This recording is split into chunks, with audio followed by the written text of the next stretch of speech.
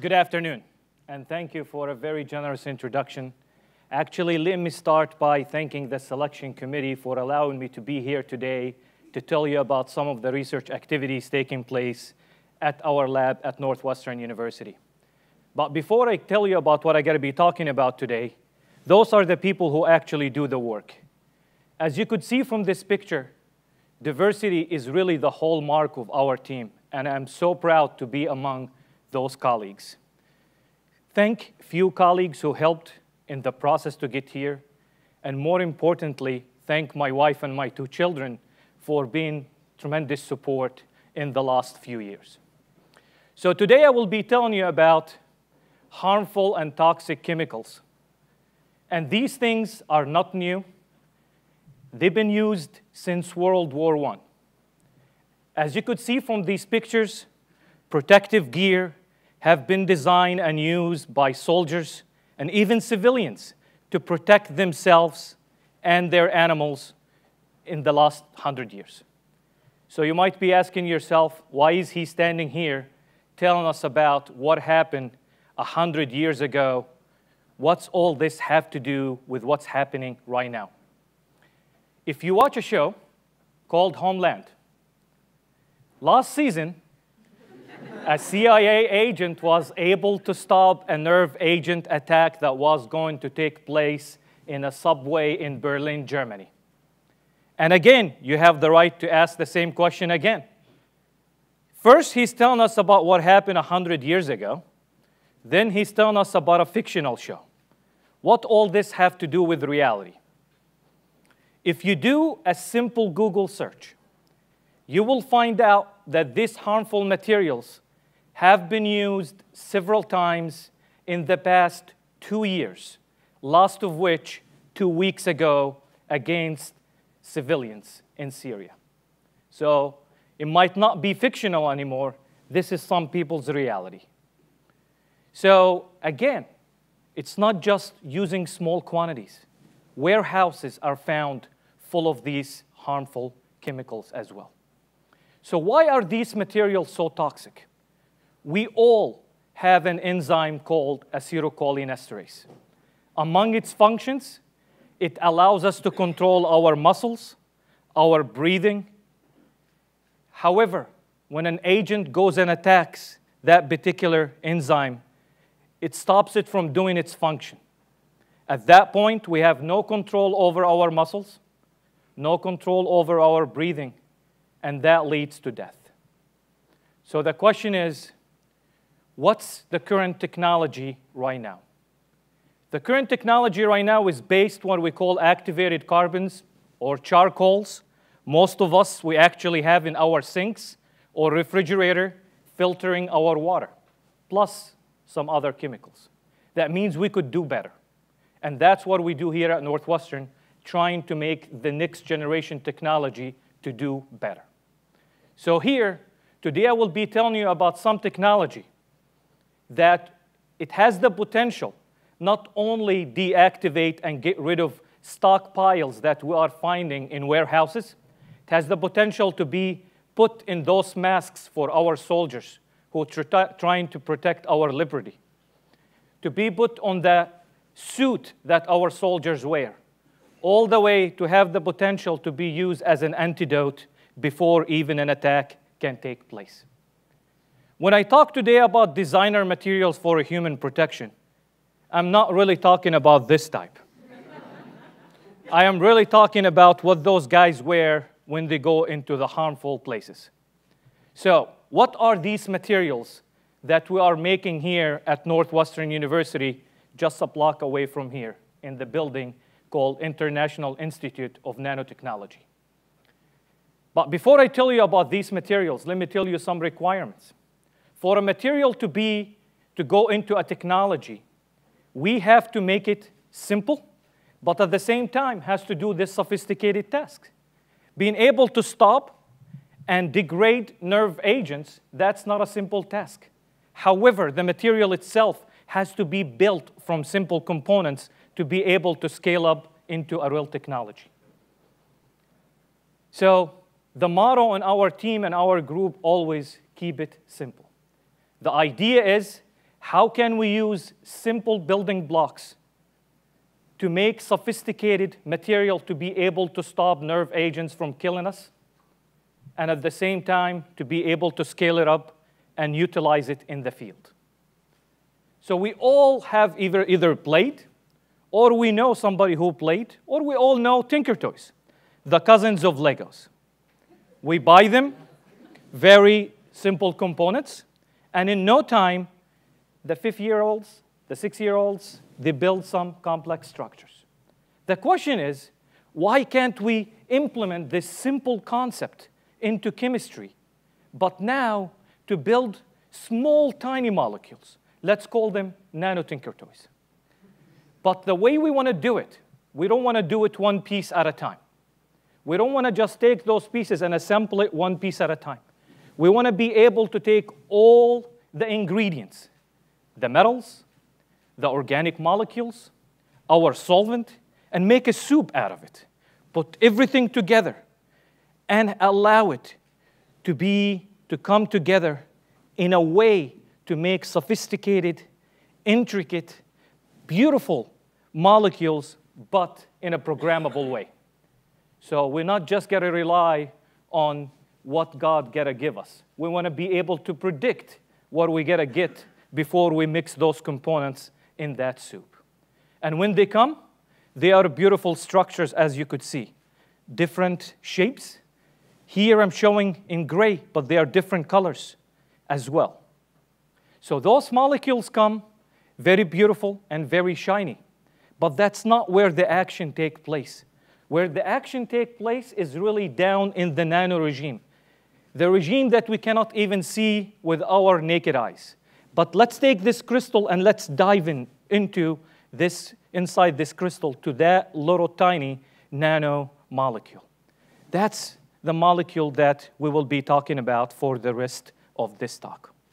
So, those materials have a technical term. It's called metal organic frameworks because they are built on metals. We have a whole periodic table to choose from. They are built on the organic 200 years, 300 years of chemistry. So here, the question is, which one should we make because we have too many choices to build from? So the idea here let me talk about one of those molecules that we made here at Northwestern University we call NU100. NU stands for Northwestern University. this material, one gram of it, if you are able to unfold all these components and lay them on the ground, it will cover the whole football field or a soccer field with one gram. Just let me tell you what one gram means. It's less than one package of sugar. That's how much surface area we have in such a small volume. So the question is, you might be asking, and who cares? Let me use the air molecules that you are breathing right now as an example. There is more air molecules in your hands, on your skin, on your face than in front of you. That means the more surfaces we have, the more gases we interact, the more harmful molecules we could capture in a small, tiny volume. And that's the trick here. So the idea is, I am passing those models around for you to see. If you look inside that vial, one of those tiny crystallites, it has that many units. One, one, one and 18 zeros in front of it in one little crystallite. But to put it in perspective, that model is 10 million times larger than reality. And that's why we are able to put 10 to the 18th units in one tiny crystal that you cannot see those units with your naked eye. So, because we could make those materials with such a high surface area, we could make them programmable on demand. They are great to capture and destroy those nasty chemicals to replace activated carbons to make the next generation sorbent. So, but let's compare MOFs to something we really all use and understand, a bath sponge. If we have a spill, you take a sponge and you wipe the water and it captures all the water. The idea here, how can we make a synthesis to make human-made sponges to be able to capture those nasty, harmful chemicals. Let me show you. This is one of the agents. It's really been used in several times in the last couple years. In order to deactivate it, it's a really simple transformation. Taking molecule on the left to the molecule on the right. It looks simple, but it's very complex to do because you have to do it very quick. Otherwise, it's too late. So we wanted to learn from biology, from nature. Is there anything out there that could do this transformation and do it well? There is a bacteria that lives in farming land. It has an enzyme called phosphotriesterase. This bacteria uses this enzyme to be able to live in the farming land. Why? Because they use pesticides and insecticides in the farming land, and pesticides and insecticides are nothing but nerve agents for pests and insects. So wanted to learn how this enzyme does it for that bacteria to live. And if you zoom in into where the action site take place, it's a very simple couple metals. So what do we wanted to do is how can we learn from this enzyme and take it into a man-made or a human-made synthesized molecule. Because this enzyme, as great as it is, you take it out of its cozy environment and it dies very quickly. If we try to use this materials in desert, this enzyme dies very quickly. So we want to learn and be inspired from this enzyme, but take it into a material that is stable and fast, selective at the same time. What do I mean by that? Let me introduce you to another molecule. It's called VX. We all heard of VX in the last six weeks. This is the molecule that was used to assassinate the stepbrother of the dictator, North Korean dictator. This molecule, to deactivate it, we have to cut it in pieces. However, if you cut in the wrong place, you will make another molecule is just as toxic as VX itself. That means knowing where you cut is just as important as how fast you cut it. So that's the trick here. Let me show you one of the molecules, one of the sponges that we actually discovered in our lab at Northwestern University.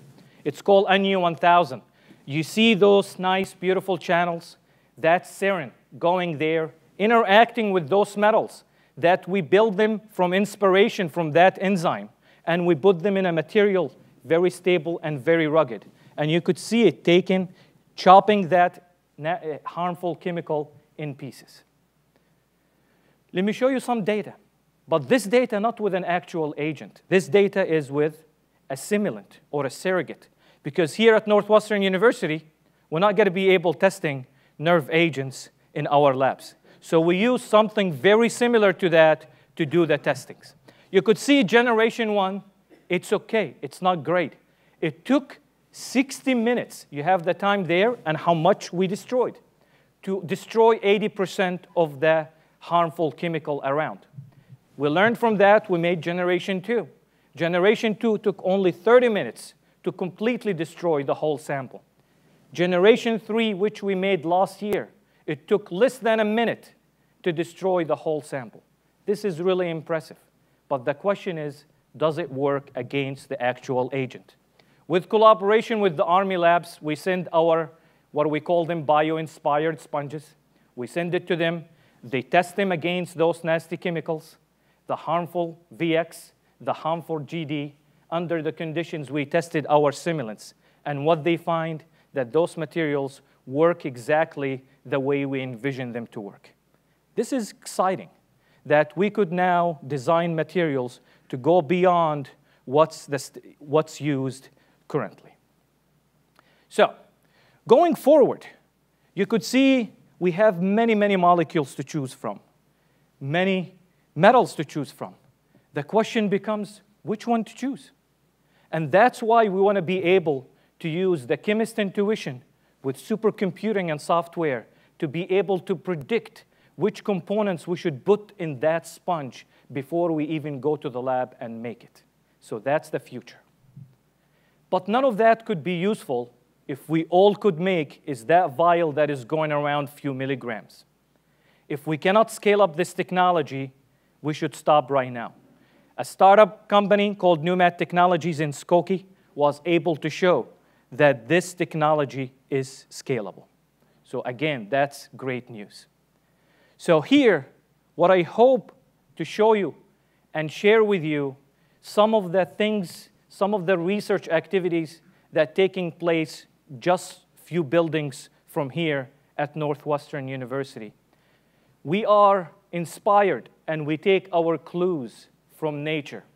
But at the end of the day, we are making more stable, programmable materials that we want to go beyond what nature can. Thank you.